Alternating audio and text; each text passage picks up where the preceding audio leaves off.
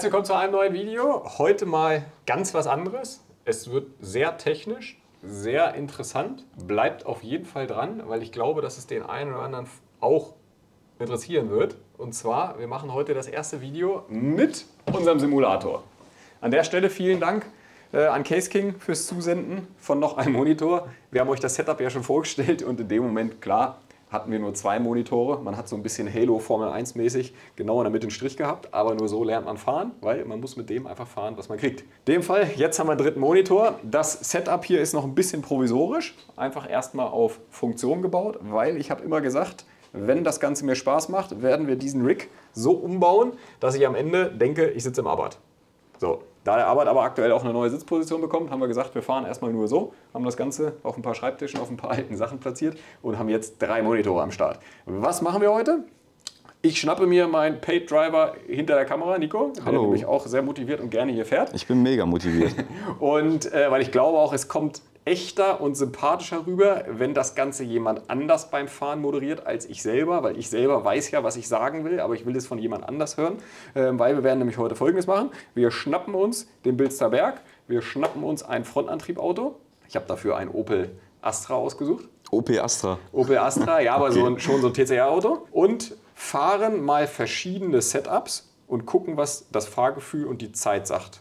Das Coole ist, das Ganze ist online, das heißt, nach diesem Video könnt ihr euch selber das gleiche Auto schnappen und könnt die gleiche Zeit auch versuchen zu fahren. In Race Room. Im Race Room, genau. So, und ähm, jetzt muss man dazu sagen, in dieser Leaderboard-Challenge ist es folgendermaßen, das ist aber auch gut so, die Reifentemperatur spielt keine Rolle. Das heißt, man fährt immer mit 85 Grad Reifen, was Setup-mäßig geil ist, weil man das Setup somit einfach nur auf dem perfekten Reifen auslegt. Im Real Life, ich habe ja mit Arbeit das Problem gehabt, muss man eigentlich das Setup so einstellen, dass die Reifen auch vernünftig warm werden. Das heißt, wenn dieses Video geil ankommt, ihr da Bock drauf habt, machen wir das nächste Video, Setup in Kombination zur Reifentemperatur. Heute geht es aber erstmal nur rein, zu zeigen, dass man diese Setup-Veränderung tatsächlich am Simulator merkt und man das Auto auch schneller bekommt. Weil ich finde es nämlich cool, Nico hat Setup-technisch wenig Plan gehabt. Gar kein Plan eigentlich. So, und auch er war begeistert, wenn ich so ein paar Sachen rumklicke, dass man es tatsächlich beim Fahren sofort merkt. Das heißt, wir richten uns mal kurz ein, öffnen Race Room, nehmen den Opel und den Bilzer Werk und dann geht's los. So, und los geht's. Also, wie ich sagte, wir haben den Opel Astra von Kissling Motorsport. Sagt dir Kissling Motorsport was? Wahrscheinlich, ne? Nee. Das ist der Opel-Tuner früher gewesen. Okay. Ja, ja, zu, so zu Manta-Zeiten und so, Kissling Motorsport war wirklich Legende. Das ist TCR-Klasse. Ähm, ihr könnt, wie gesagt, diese Zeit live online auch fahren. Singleplayer, dann Leaderboard ähm, Challenge und dann auf Bilsterberg und nur mit diesem Auto logischerweise. Ne? So, jetzt gehen wir hier einfach mal rein. Das Lenkrad fühle ich hier schon mal. Ja, aber das ist auch nicht schlecht, ne? Und dann gehen wir ähm, als nächstes erstmal ins Setup rein und stellen den Opel mal, soweit es geht, auf Serie ein. Also nicht das, was uns das Spiel jetzt gerade vorschlägt, sondern Sondern eher so ein Straßensetup, oder? ein Straßensetup. Ne? So, das heißt, Straßensetup heißt schon mal Bremsbalance 50-50, weil können wir eh nicht einstellen beim Straßenauto. So. Ähm, Reifenmischung können wir zur Sekunde nicht einstellen, ist einfach so. Front, ähm, jetzt geht es nämlich los. Stabi, natürlich, ein Serienstabi ist immer weich. Das heißt, wir würden den Stabi mal. Na okay, das ist nicht ganz richtig. Dafür bräuchten wir jetzt vom Hersteller die Werte. Aber ich weiß, dass man einen, Stabi gerne weicher macht als Serie, so wie ich beim Arbeit auch gefahren bin. Das heißt, wir lassen den Stabi mal in einer mittleren Stellung, weil Fakt ist, das Auto hat serienmäßig einen Stabi. Ähm, das heißt hier auch. So, nächste Sache, Vorspur heißt, wie stehen die vorderen Räder? Zu oder offen? Serienmäßig ähm, ist bei den Autos tatsächlich die Spur schon offen. Vorne, bei allen Frontantriebautos, allerdings nur minimal. So, das heißt eigentlich, ja, Gesamtspur äh, 0,1 auf ist okay. Achso, das heißt, Minus ist quasi offen Genau. und Plus ist zu. Okay. Genau, und man hat vorne schon ähm, ein, bisschen, ein bisschen auf. Reifendruck können wir jetzt gerade nicht einstellen, weil ich sagte ja, Temperatur der Reifen ist egal, somit auch, äh, somit auch das. Wir wollen das jetzt nicht zu vertiefen, deswegen würde ich auch vorschlagen, Federraten lassen wir auch. Stabi und Federraten machen wir erstmal so, wie es ist, weil alles, was ich hier jetzt ändern würde, könnte ich jetzt nicht vergleichen mit der Serie, weil ich die Seriendaten von der Serienfeder einfach auch nicht habe. Ne? So, eine Sache, die aber Fakt ist, die maximal anders ist Bodenfreiheit, natürlich maximal hoch, 11 cm. Also wir können hier eh nur von 8 bis 11 verstellen, aber wir machen einfach mal 11, so wie ein Auto serienmäßig ist. Und den Radsturz können wir hier auch krass verstellen, allerdings nur von 3,8 bis 5,5. 3,8 ist für serienmäßig viel zu viel. Ähm, serienmäßig hat man eher so 1 Grad. Ähm, deswegen, das lassen wir mal so. Und die, die, die, die Fahrwerkseinstellung, High- und Low-Speed, Druck- und Zugstufe, ist auch so ein Punkt. Ja, würde ich dann eher, um das jetzt nicht zu weit ins Detail machen, würde ich erstmal so lassen. Und wenn du dann sagst, du hättest es gern ein bisschen mehr so oder so, dann eher. So, hier ist allerdings viel entscheidender. Einmal Stabi hinten. Bei einem Opel wird definitiv weicher sein in der Serie. Das heißt, den machen wir definitiv auf ganz weich. Weil es kann sogar sein, dass so ein Opel gar keinen Stabi hinten hat. Die Golfs hinten zum Beispiel hatten teilweise auch keinen Stabi. Ähm, da wird aber auf jeden Fall serienmäßig ein weicher Stabi. Und jetzt kommen wir zur nächsten Sache. Ähm, Vorspur. Das Auto wird original hinten die Spur zu haben. Man macht immer so ungefähr 0,2 die Spur zu hinten. Heckflügel auf Minimum, weil original hat das Ding logischerweise gar keine Aero. Federrate lassen wir wieder so, wie es ist. Bodenfreiheit machen wir maximal hoch. Wobei maximal hoch ist nicht korrekt. Genau, weil wir haben jetzt vorne 11 cm. Das heißt, wir machen hinten einfach mal auch 11, weil eigentlich sollte so ein Auto ja schon gleichmäßig stehen. Radsturz hier auch 4 Grad, gehen wir runter bis auf 3, weniger geht nicht, ist eigentlich auch viel zu viel. Serienmäßig haben die so ein halbes Grad hinten. Äh, Flügel auf Minimum und fertig. So, jetzt kommen wir zu dem Allerentscheidendsten. Hier unten Sperre. Wir können die Übersetzung leider nicht einstellen. Wir können nur zwei Sachen einstellen. Wir können einmal einstellen, wie viel ist die Sperre überhaupt vorgespannt. Original hat so ein Auto ein offenes Diff, das heißt, die ist gar nicht vorgespannt. Die machen wir hier mal auf Null. Und dann können wir noch ähm, die, die eigentliche Sperrwirkung dann einstellen. Aber ist bei, einer Vor äh, bei 0 Newtonmeter Vorspannung doch eigentlich auch egal, oder? Eigentlich auch egal, aber wir setzen es trotzdem aufs Minimum.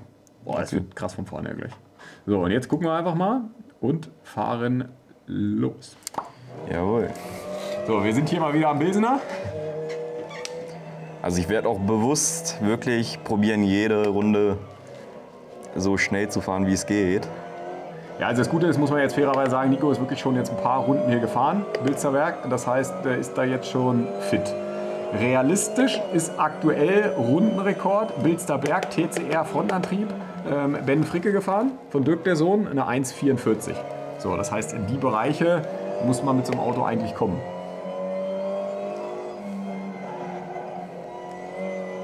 Was halt jetzt cool ist, man fährt auf die Strecke drauf und hat sofort Reifentemperatur erreicht und auch gar nicht erst Reifen warm fahren.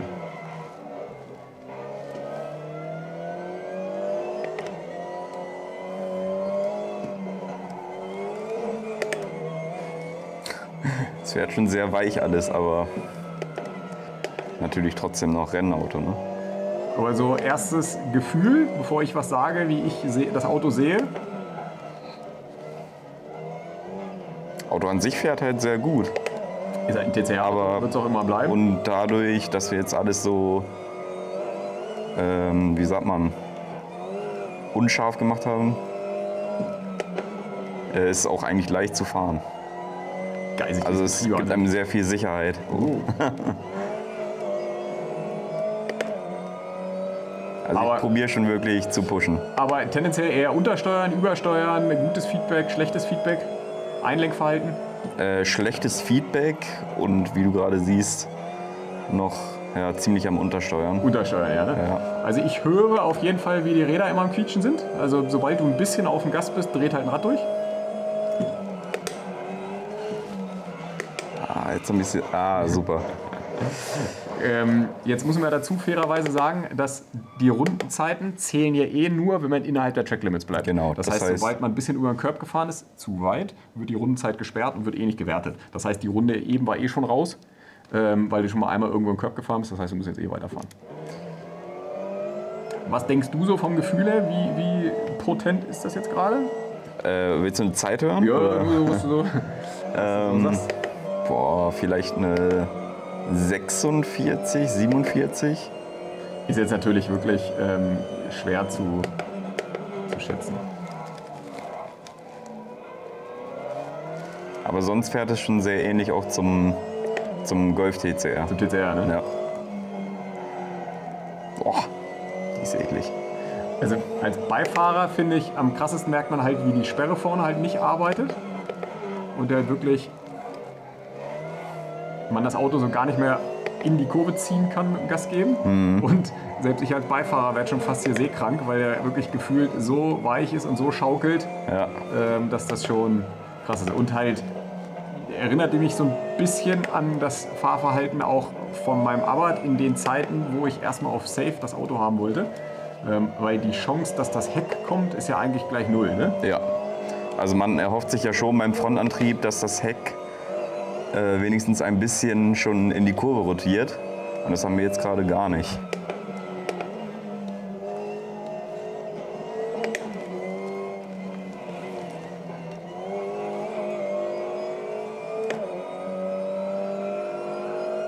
Ich habe übrigens gerade den, den Live-Vergleich gehabt. Ähm, Sachsenring vorher noch nie gefahren. Live, also am Simulator vorher so eine halbe Stunde mit einem vergleichbaren Auto gezockt. Und es ist tatsächlich so, dass das verdammt nah in der ersten Runde dann auf dem Sachsenring schon rankommt. Gar nicht jetzt die Zeit, sondern einfach nur Streckenbreite, Empfinden, Curbs und so weiter. So, das sieht doch also geil ist, Nico ist schon so viel gefahren, dass wir wirklich von vornherein verlässliche Werte in Bezug auf Linie und Zeit und so weiter haben. Das heißt, ich glaube, wir brauchen noch immer gar nicht so viele Runden zu fahren. Okay, war jetzt noch 1,48. So, ähm, was denkst du? Willst du noch eine weitere Runde fahren? Noch ein bisschen? Also eine können wir ruhig noch mal machen. Ne? Wir können noch mal eine machen. Also die erste war jetzt 1,48,2 was tatsächlich schon relativ nah an meiner Arbeitszeit kommt, 1,51. Mhm. Ähm, dafür, dass alleine hier Reifen auf Temperatur sind und das Getriebe einfach geil ist. Gegenüber meinem Haarschaltgetriebe sieht man dann doch schon mal, wie, wie schnell meine 1,51 eigentlich war. Also klar, drei Sekunden sind Welten.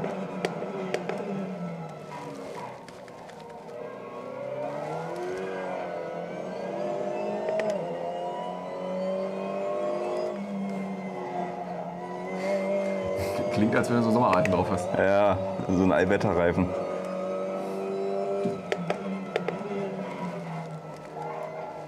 Also wir haben auf jeden Fall schon mal eine Frage an euch. Vielleicht gibt es von euch einen Raceroom-Experten. Seitdem wir das 3-Monitor-Setup aufgestellt haben, ähm, kriegen wir nicht mehr im Spiel angezeigt, wenn wir über die Tracklimits hinaus sind. Man sieht es zwar an der Zeit jetzt gerade, dass sie weiterläuft. Minus 0,5 waren wir im ersten Sektor schneller. Das heißt, die, noch hast du die Tracklimits nicht überfahren.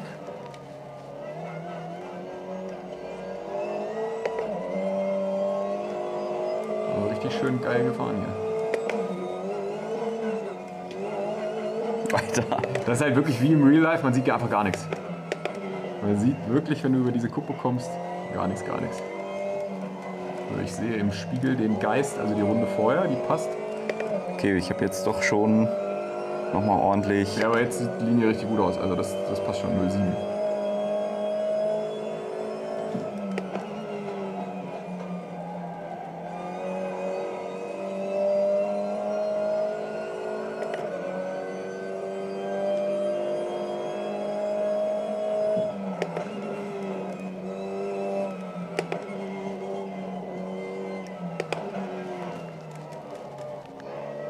so einfach aus, ne? Aber man, ja, es ist nicht so. Genau, wenn man selber fährt, muss man schon hart immer konzentriert sein und gucken. So, da ging auf jeden Fall nochmal was. Zack, 0,88 nochmal schneller. Das heißt, wir gehen mit Setup Nummer 1 mit einer 1,47,3 ins Rennen. Ähm, was hättest du gerne anders? Also was, was hättest du gerne, dass das Auto besser machen könnte? Wo denkst du, lässt du aktuell viel Zeit liegen? Traktion in den Kurven vor allem. Mhm. Das also, Auto ist sehr am, am Eiern. Traktion in den Kurven heißt beim Beschleunigen oder beim Einlenken? Beim Einlenken. Mhm. Beschleunigen aber auch, da merkst du es halt mit dem Differential. Also eigentlich könnten wir jetzt mal das, das Basis-Setup auch genau, schon fast das, machen. Das wäre jetzt auch tatsächlich, ich wollte nur so ein bisschen raushören, was du gerne, was du gerne anders hättest. Mhm. Aero, finde ich, merkt man fast gar nicht. Mhm. also da wünsche ich mir auch irgendwie gar nicht mehr. Ist ich glaube, das macht am Ende nur langsamer. Ist auch die Strecke halt, ne? Ist ja. ein bisschen die, die Strecke natürlich plus, plus Aero. Und ein TCR hat ja immer ein bisschen Aero, ob man das jetzt zustellt oder nicht zustellt. Genau, ja. Okay, also tendenziell äh, Kurve rein, Kurve raus. Ja. Bremsen ist okay. Ja. So, das heißt, wir machen jetzt einfach mal folgendes. Wir laden jetzt, nee, wir speichern das einmal ab als ähm, BB Serie 01 und öffnen jetzt das nächste Setup. Und zwar das, was standardmäßig auf dem Auto drauf war. So, Serien-Setup, also Serien-Setup heißt, das Setup, was Race Room vorgibt, ist geladen. Ich will euch nur kurz die, die, die Unterschiede zeigen gegenüber dem Setup, was wir eben gerade gefahren sind. Als erstes sieht man sofort Bremse nach vorne gestellt, 52% vorne, 48% hinten. Dann Stabi. Stabi hatten wir eben gerade so gelassen, da ist kein Unterschied. Spur vorne ist ein Tucken weiter auf, nicht viel, aber immerhin ein bisschen weiter auf. Und was wir als allererstes gleich sehen, vorne ist das Auto 3 cm tiefer. Und, Alter, wir haben 5,5 Grad Sturz vorne. Ja. Also, Was, was bringt die reine Fahrzeughöhe an Performance? Ja, es sind zwei Sachen. Es ist einmal, logischerweise, 3 cm tiefer ist in dem Moment auch der, Stu äh, der Schwerpunkt 3 cm tiefer, was extrem viel einfach ausmacht. Ich glaube aber, was bei, in unserem Fall auch viel entscheidender ist, ist in dem Moment, wenn du, also je nachdem, ich gehe davon aus, dass die die Bodenfreiheit verstellen, wie es im echten Leben ist. Das heißt, du drehst das Fahrwerk hoch und runter. In dem Moment würde normalerweise der Ausfederweg mehr werden. Weil wenn das Auto im Nullzustand eingefederter ist, kann das Rad natürlich weiter ausfedern. Und gerade auf dem Bilzer Berg, wo man über die Kuppen viel Ausfederweg macht, braucht, macht das natürlich viel aus. Kann beim TCR Golf natürlich auch sein, dass Ein- und Ausfederweg immer gleich bleibt, man wirklich nur die Fahrzeughöhe ändert. Ähm, das weiß ich nicht. Ähm, hinten fährt er einfach nur Vorspur 0. Ähm, das heißt, die Räder stehen einfach nur gerade. Stabi hinten ein bisschen härter gemacht. Ähm, Heckflügel ein bisschen mehr Aero hinten und hinten auch schon auf 4 Grad Sturz. Also das ist schon, das ist jetzt schon ein Setup. Achso, und ganz entscheidend, gucken wir uns einmal Sperre an. Ja, 75 Newton vorgespannt und mit einer absolut krassen Sperrwirkung, 61 Prozent. Das ist in dem Fall die Sperrwirkung des Diffs, wenn sie dann arbeitet. Ähm, das quasi auf, ähm, auf, auf ganz zu. So, kurz erklärt, jetzt geht's los. Let's go. Wir fahren.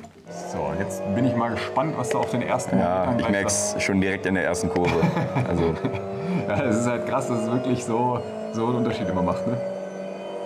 wäre jetzt peinlich, wenn es nicht schneller ist, aber Das, das ist eine andere Sache, das sehen wir dann im nächsten Video. Ähm, besser anfühlen macht meistens immer schneller, weil man sich mehr traut, aber nicht unbedingt, weil es schneller ist. So, was allerdings geil ist, wenn wir im normalen Trainingsmodus fahren, könnten wir das halt beobachten über die Reifentemperatur. Und da sieht man halt sofort, ob ein Setup einen Reifen auf Temperatur bringt oder nicht, weil gerade bei den Frontantriebautos sind halt hinten die Räder das Problem, dass man die hinteren Räder auf Temperatur kriegen muss. Und da ähm, da ist es halt schon so. Das war da. Ja, erster Sektor 06 schon schneller. ja, das ist ganz anders. Also gefühlt habe ich noch nicht einmal die Räder drehen hören. Nee. Und das ist auch immer das, was ich sage. Fangt ihr mit einem Track-Tool an zu spielen. Das erste, was ihr machen müsst, selbst bei Serienleistung, ist leider schon eine gute Sperre vorne. Weil ohne Sperre kriegt man diese Dynamik in das Auto gar nicht rein.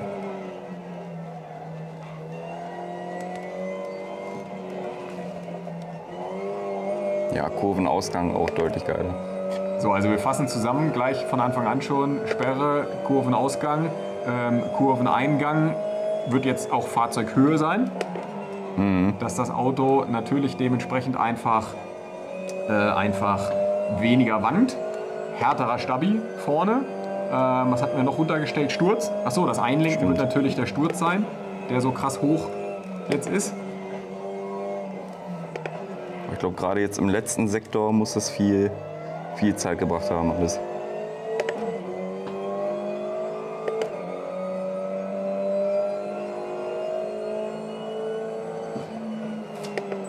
Sekunde schneller. Krass, also wirklich gleich die aller, allererste Runde, wirklich aus der Box raus, neues Setup eine Sekunde schneller. Ne? Ähm, der Fairness halber würde ich trotzdem sagen, wir machen nochmal eine zweite Runde. Okay. Eben auch zwei Runden, jetzt auch nochmal zwei Runden. Einfach nochmal gucken, ähm, ob noch ein bisschen mehr geht.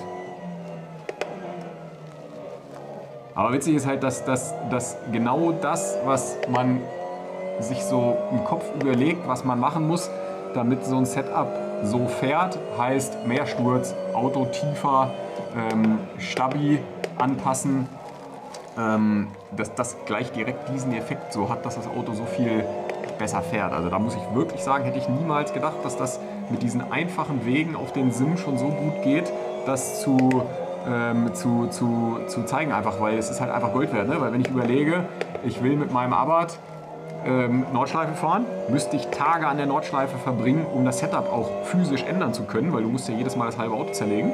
Ähm, und hier ist es tatsächlich so einfach zwei, drei Klicks und ich kann schon mal ein Basis-Setup tatsächlich fertig machen.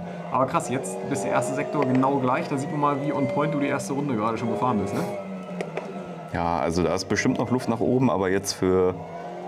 Äh, Aber das ist das, was einen guten Fahrer ausmacht, dass es halt darum geht, konstant zu fahren und jetzt nicht irgendwie 20 Anläufe zu brauchen für eine Runde, sondern halt schon ein Setup hinzulegen, was halt auch im ersten Anlauf gleich funktioniert. Ne? das stimmt, ja. Ich bin natürlich auch kein Profi, aber ein bisschen Zeit habe ich hier auch schon verbracht.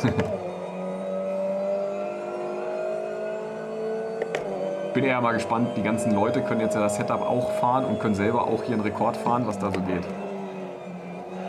Das war zum Beispiel echt auf Grenze gebremst schon, ne? Aber war genau richtig, ja. Ja, ein bisschen Zeit wollte ich noch rausholen. Aktuell sind wir so bei zwei Zehntel, würde ich sagen.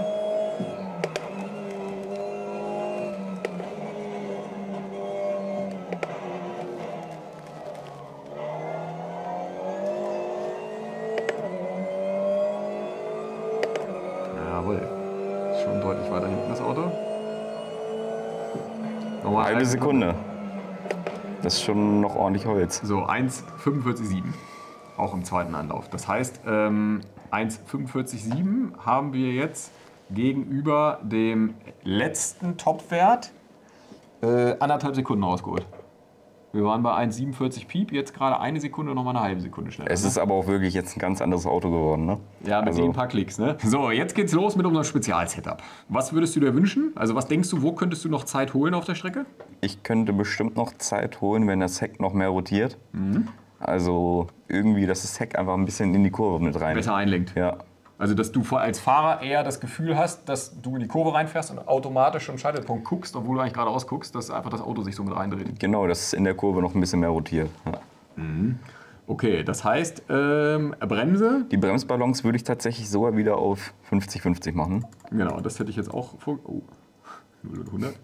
Ähm, da haben wir ja in diversen Abarth-Videos schon festgestellt, dass man schon relativ viel hinten bremsen muss. Ja.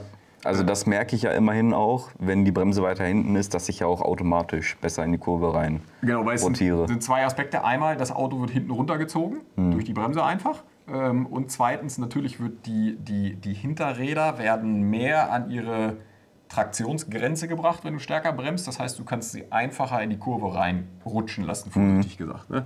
So, das heißt, okay, wir gehen hier zurück auf 50-50. Ähm, so, jetzt ganz interessant. Ähm, Stabi vorne. Stabi vorne würde ich jetzt mal auf maximal weich machen.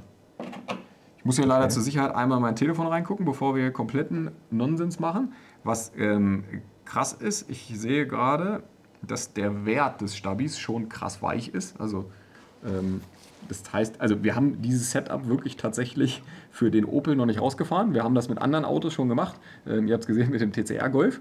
Das heißt, wir versuchen das jetzt mal so zu übernehmen und müssen sonst individuell gleich noch ein bisschen anpassen. Ne? So, wir fangen mal an mit Stabi ganz weich. Vorne die Räder auf, ein bisschen weniger, dass sie ein bisschen weiter zustehen, aber schon noch offen.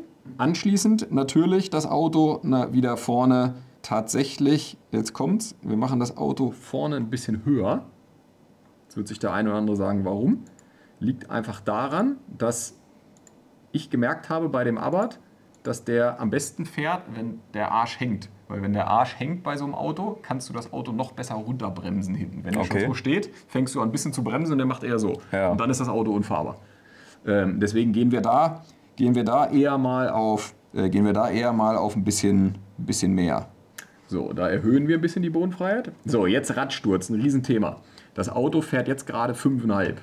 Ich bin der Meinung, dass man auf der Strecke gar nicht 5,5 Grad Sturz vorne braucht, weil viel Sturz ist zwar in schnellen Kurven geil, in langsamen Kurven mit viel Kuppen, nimmt aber viel Sturz natürlich auch die Auflagefläche des Reifens auf dem Boden beim Beschleunigen. Das heißt, man kommt über die Kuppe rüber und mit 5,5 Grad fährt man wirklich nur noch innen auf ein bisschen, Ja. äh, auf ein ganz bisschen. Ähm, deswegen würde ich jetzt folgendes machen. Wir gehen zurück auf 4 Grad mit dem linken Rad und da das da der Bilzer Berg dafür bekannt ist, dass es viele Linkskurven sind, machen wir auf dem rechten Grad asymmetrisch, äh, auf dem rechten Rad ein bisschen mehr Sturz. Kann man das verstehen? Ich glaube nämlich.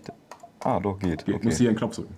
Ah, Hier, okay. du musst hier einen Knopf drücken. Das heißt, wir machen jetzt 4 Grad und 4,5 Grad für die Linkskurven, auf der rechten Seite ein bisschen mehr, Ja. äh, bisschen mehr Sturz. Das wäre übrigens ein Punkt, wo wir im nächsten Video, hier unten links sieht man die, den Reifendruck und die Temperatur. Daran wird man sehen, ob man zu viel oder zu wenig Sturz hat, weil es tatsächlich losgeht, dass der Reifen sich zum Beispiel rechts wärmer fährt als der linke oder außen mehr fährt. Das heißt, man muss mehr Sturz machen ähm, und so weiter. So, jetzt Heck, das wird das Entscheidendste sein. Wir machen die Spur auf. In dem Moment, wo wir die Spur aufmachen, und das nicht unerheblich, wird das Auto natürlich deutlich, deutlich unangenehmer zu fahren. Wir gehen gleich mal volles Karacho rein, anderthalb Grad die Spur auf. So, das Okay. heißt, die geht wirklich so, so auf. Heckflügel ist jetzt so ein bisschen, ein bisschen Sache. Ähm, Heckflügel würde ich mal auf Null stellen, weil wir können bei dem Auto tatsächlich einen Minuswert einstellen. Das heißt, es kann sogar passieren, Genau, dass, das Heck, dass das Heck hochgehoben wird. Ne? Deswegen machen wir da lieber, machen wir da lieber Null. Ähm, den Stabi hinten machen wir gegenüber dem Serienwert auch weicher dass das Auto mit der weiten Spur offen trotzdem noch wanken und rollen kann und somit halt die, ähm, die Traktion auf jeden Fall behält. Ne? So, dann Bodenfreiheit äh, machen wir tatsächlich hinten tiefer. Das heißt, das Auto wird nachher hinten tiefer sein als vorne. Machen wir einen Zentimeter runter. Und jetzt kommt das Entscheidende, den Radsturz hinten machen wir hoch. Das heißt, wir fahren hinten mehr Sturz als also vorne weniger, hinten mehr.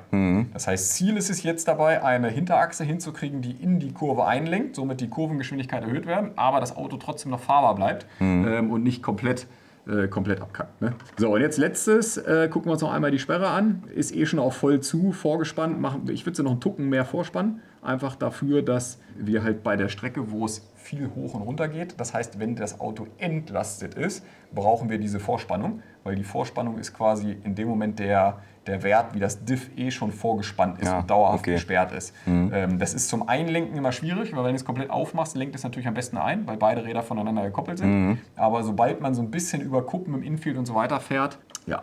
Mein Bauchgefühl sagt mir, dieses Setup, wir speichern es mal ab, müsste auf, den, auf dem ersten Sektor deutlich, deutlich besser sein. Im letzten Sektor wird es schwieriger zu fahren sein, durch die, weil natürlich offene Spur hinten, sobald es schneller wird, natürlich ein bisschen, bisschen kritischer wird. Ne? So, jetzt ist es wichtig, dass du gleich auf den aller, allerersten Metern auf jeden Fall sagst, was so, was so abgeht. Ja. Ja, genau. Also, Merkst du den Unterschied? Ja. Also optisch war es jetzt Das- nicht sofort zu sehen, ja, ich habe schon gemerkt, das Heck auf jeden Fall. Denk da- mal bedingt durch die Spur hinten. Ja, man darf nicht vergessen, Leute, von 0 auf 1,5. Das ist schon wirklich viel. Also das wird man optisch auch sehen.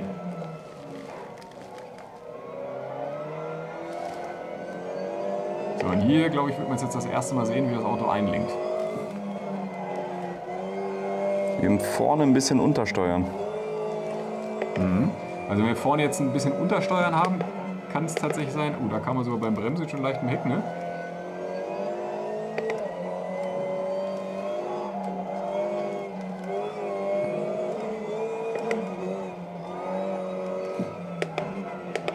So, 0,4 langsamer. Würde ich jetzt aber erstmal nichts. Äh, Ja, ja klar, wir sind eben Nichts auf zwei werten, Runden weil- fahren. meistens ist es so, ein wirklich schnelles Setup ist auch immer nicht so ganz einfach zu fahren. Weil es ziemlich scharf ist am Ende. Ja. Und man darf auch nicht ne vergessen, wir nehmen als Referenz gerade deine zweite Runde mit dem Setup. Ne? Also würden wir jetzt nach der ersten Runde gehen mit dem alten Setup, ähm, warst du definitiv mit dem Setup hier gleich schon schneller. Also über den Curb fährt das Auto gefühlt deutlich besser rüber.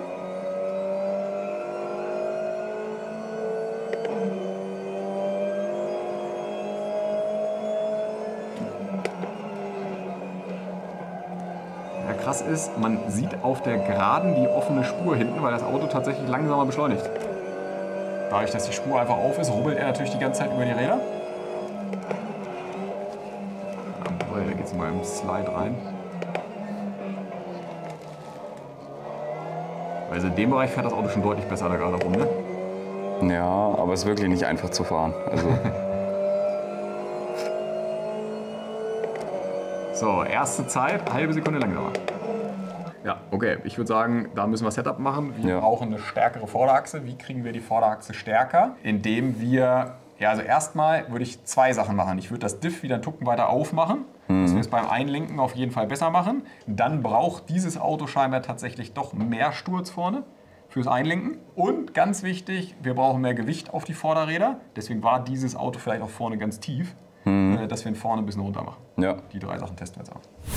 Also, was wollen wir erreichen? Wir wollen die Vorderachse verstärken. Das heißt gar nicht unbedingt immer, dass wir uns zu sehr mit der Vorderachse beschäftigen sollten, sondern vielleicht auch uns die Hinterachse nochmal anschauen sollten. Ich würde vorschlagen, wir fangen an. Stabi vorne lassen wir, ähm, weil ein härterer Stabi wird es noch mehr untersteuern lassen. Spur lassen wir auch so, Federn lassen wir so, Bodenfreiheit. Es wird einen Grund gehabt haben, warum der vielleicht serienmäßig hier auf dem Boden liegen soll vorne.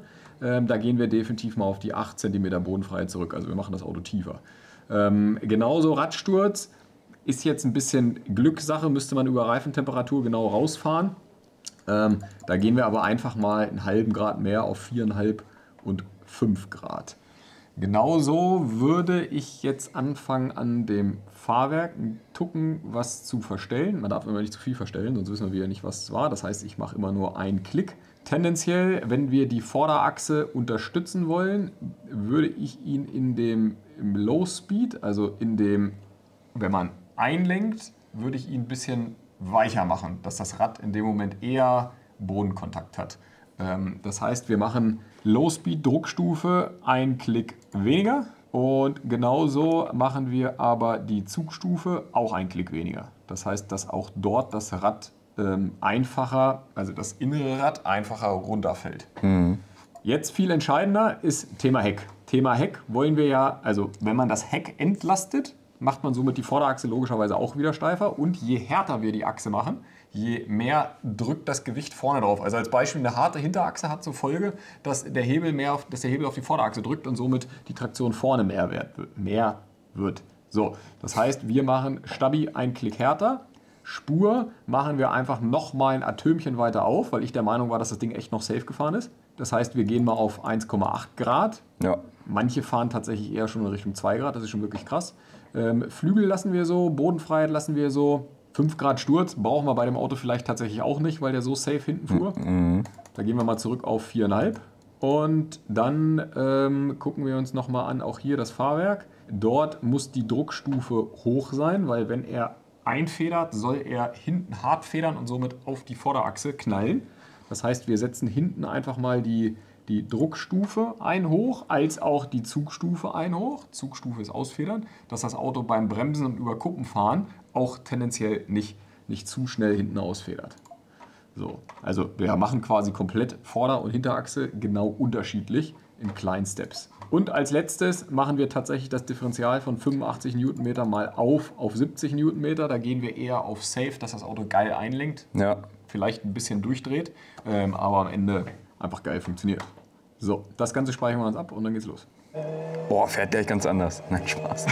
ich habe sie gerade kurz geglaubt.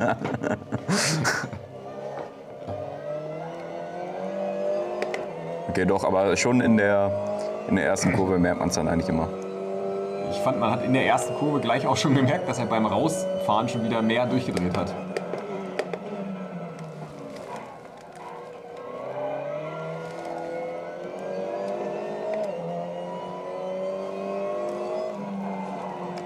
Ja, macht er gut.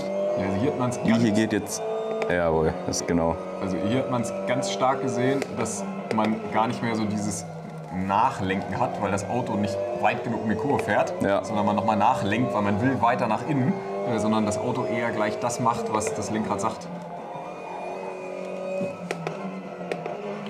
Ja, und das Haben wir schon den ersten grünen Sektor. krass, da sind wir echt auf Anhieb ein Zehntel schneller als unsere absolute Topzeit. Ne?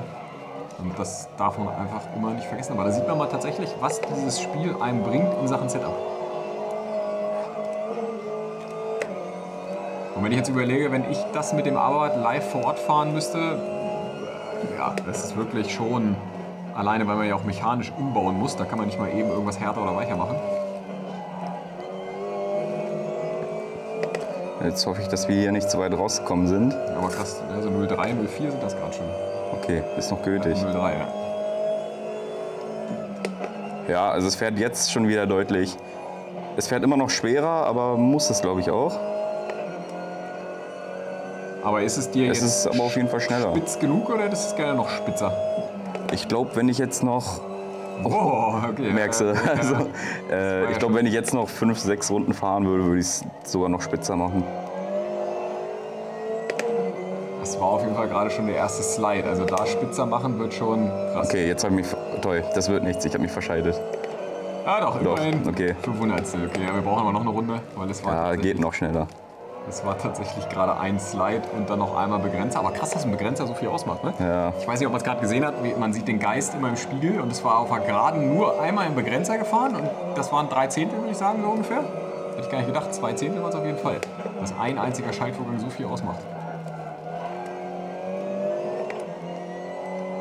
Ja, also man merkt auf jeden Fall, das Auto ist beim Einlenken viel stabiler. Du kannst viel früher aufs Gas schon wieder gehen. Es rotiert in der Kurve. muss man auf der Bremse aufpassen, dass auf einmal das Heck einen nicht überholt. Ne? So wie zum Beispiel gerade auf dem Ja. Ziellaufer. Was geil zu beobachten ist, jetzt erster Sektor war 1 zu 1 die Zeit wie in der letzten Runde.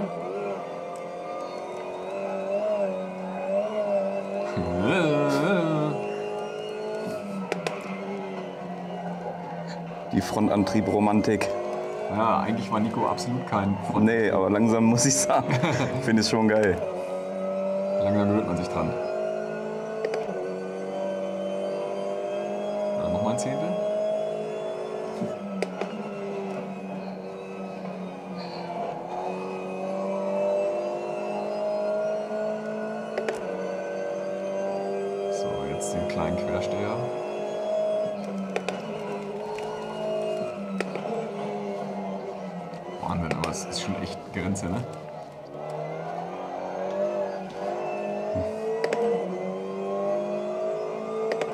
Wird auf jeden Fall eine Verbesserung sein.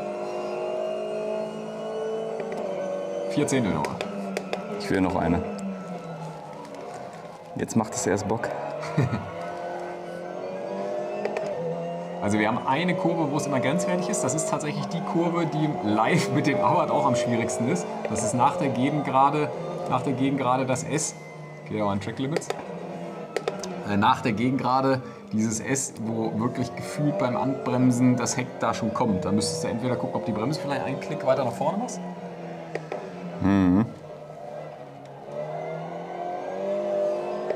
Ansonsten sind wir aber definitiv mit dem Setup auf dem richtigen Weg.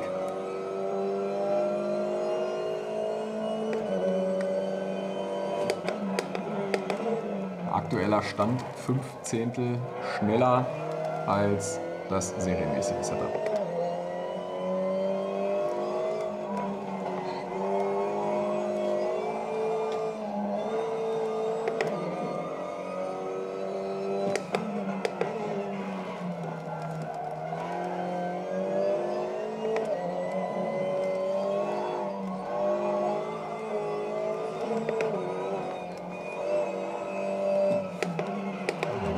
Zwei Zehntel.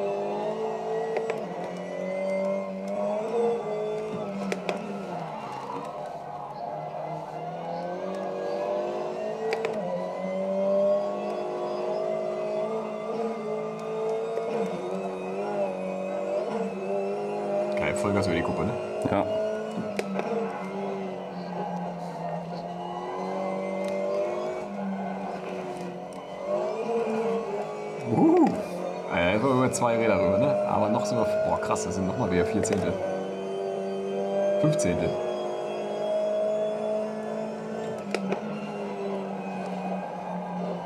Der Geraden merkt man, wie das Auto anfängt, so ein bisschen links-rechts zu fahren, ne? Also da ist die Spur schon echt grenzwertig. Das stimmt, ja. So, jetzt mal gucken, wie ich hier durchkomme. Ja, das ist sehr gut. Also dort Bremsballons sehr entscheidend. Aber krass, was ein Klick ausmacht, ne? Okay, es waren jetzt zwei Klicks, aber Ja, also ein, es war ein Prozent so gesehen. vorher, ja. ne? Jawohl, guck, dritte Runde haben wir eine Zeit nochmal von 18. Neuer Rekord, 1,44,4. Jawohl, gibt erstmal eine High Five hier. Das heißt, wir haben auch somit den Bilzerberg TCR-Rekord gebrochen. 1,44,4. Das Setup speichern wir uns so jetzt ab. Ich habe die Zahlen nicht mehr ganz im Kopf gerade, aber so grob. Wir hatten ja über eine Sekunde rausgeholt zwischen Serie und dem vorgeschlagenen Setup. Und jetzt gerade haben wir auch noch mal über eine Sekunde rausgeholt. Eben gerade waren wir 8 Zehntel Ja. vor 4 Zehntel. Schneller, also auch 1,2 Sekunden. Ne? Aber sonst würdest du sagen, rundenmäßig schon waren alle, also alle gewerteten Zeiten, die wir jetzt haben, waren jetzt nicht irgendwie, dass irgendwo ein krasser Fahrfehler drin war, sondern die waren, Nee, nee. Schon, die waren schon relativ rund und auch relativ am Limit ähm, gefahren. Natürlich wird nachher, wenn das Ganze online geht, wird diese Zeit nochmal einer unterbinden, Ja, garantiert definitiv. Muss. weil da noch was zu holen ist. Ja. Nico wird mit Sicherheit nachher auch nochmal wieder die Zeit verbessern. Aber ich würde sagen, wir lassen erstmal die Zuschauer fahren. Und dann kannst du es zur Not nochmal nachlegen.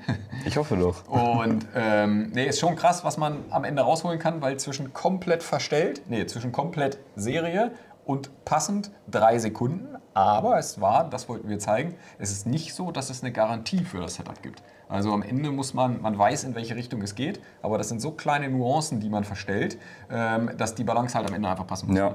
So, und dafür alles. ist es halt einfach geil, weil man halt wirklich schnell und einfach Vorder-, Hinterachse Sachen ändern kann und gleich ein Ergebnis sieht. Ne? Ja, so viel vom Bilzer Berg, 1,44,4 mit dem Opel Astra. Ähm, wenn ihr Bock habt, zockt auch ein bisschen Race Room. Mal gucken, wie das Video ankommt. Mal gucken, ob ihr Bock habt. Schreibt gerne in die Kommentare, was ihr gerne sehen wollen würdet. Ich würde als nächstes mal Thema Reifentemperatur machen. Das heißt, wir fahren mit dem Auto mit kalten Reifen los und gucken, wie die Temperatur sich entwickelt, weil da werden wir ganz was anderes sehen, weil wir müssen Temperatur in die hinteren Reifen kriegen. Das kriegen wir so definitiv nicht, weil die Hinterachse ist jetzt so lasch und fährt so einfach hinterher, ähm, dass ich sage, dass man Reifen gar nicht warm kriegt. So, und dann fängt man wieder von vorne an. Man muss nämlich auch einmal wieder gucken, wie kriege ich Temperatur in den Reifen. Ja. So. Ja, geile Nummer. Ähm, vielen Dank an Case King für den dritten Monitor. Das hat es auf jeden Fall nochmal deutlich Ja. reeller gemacht. Sagt man das so? Egal, es macht Bock, schon. Kann sein. Danke fürs Zuschauen. Tschüss und bis zum nächsten Mal. Ciao.